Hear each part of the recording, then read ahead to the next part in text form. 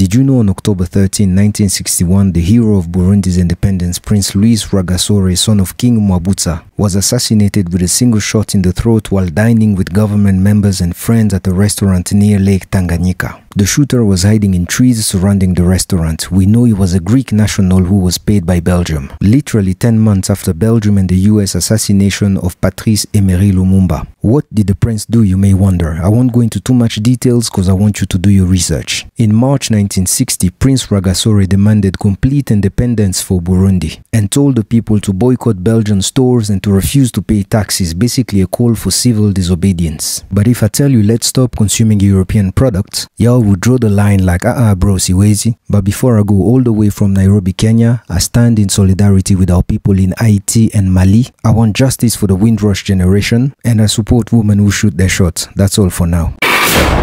Wait, ni nini?